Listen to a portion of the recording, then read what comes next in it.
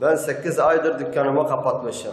Saatim kapalı olmasına rağmen gelmişler beni de e, kaçak muamelesi yapmışlar. Bana 2,5 milyar ceza yazmışlar. Abime 4,5 milyar ceza yazmışlar. Kaçak olmamasına rağmen, saatin kapalı olmasına rağmen ceza yazmışlar. Bunun tek bir sebebi var, o da referandumu etkilemek içindir.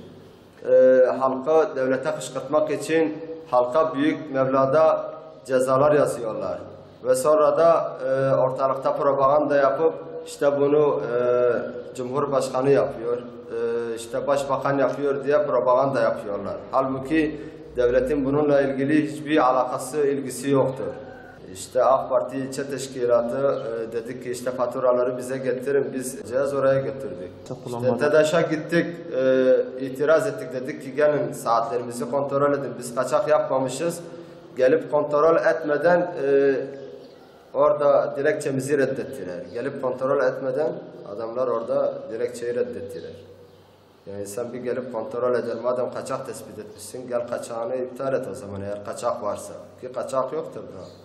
Yetkililerden talebimiz e, bunları iyice bir soruştursunlar. TEDAŞ yüzünden mağduriyet yaşamaktayız.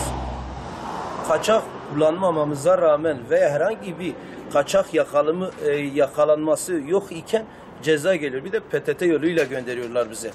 16 milyar ceza geçmişler. 3 tane aboneme. 3 tane abonem olmasına rağmen 16 milyar. Bu karda kışta bu parayı niye ödeyeyim ki?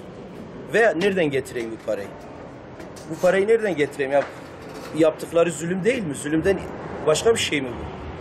herhangi bir şey olsa bir kaçak olsa yakalamış olsalar amenna. Deriz cezamız. Baş göz üstüne yakaladılar.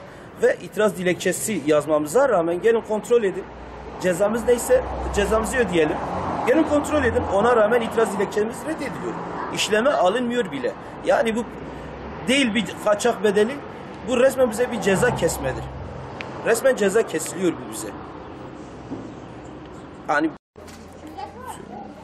yani yetkililerden isteğimiz ve dileğimiz yani bu mağduriyetin ortadan kalkması. Bir tek bizler de değiliz.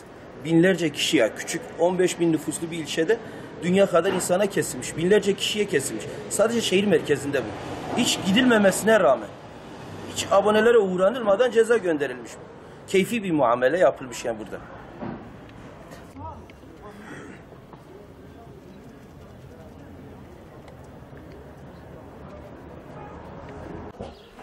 11.01 tarihinde sözde TEDAŞ bizim eve e, elektrik kontrolüne gelmiş. Evde kimse hani gelip git, e, gittiklerini görmemesine rağmen arkadaşlar bize bir ceza kesmişler. E, gittik itiraz ettik, fotoğraf istedik. Hani bir kanıtınız var mı elinizde böyle bir cezayı bize yazsınız diye. Arkadaşlar fotoğraf da çıkarmadılar. E, dilekçemizi verdik. Daha sonucu gelmedi ama dilekçe veren başka arkadaşlar var. Onların hiçbirine de olumlu sonuç gelmemiş. Zaten adamlar cezayı kestik, ödeyeceksiniz demişler. Ee, tabii bu noktada biraz da milletin e, zaafına dokunuyorlar. Erken öderseniz indirimli ödersiniz diye.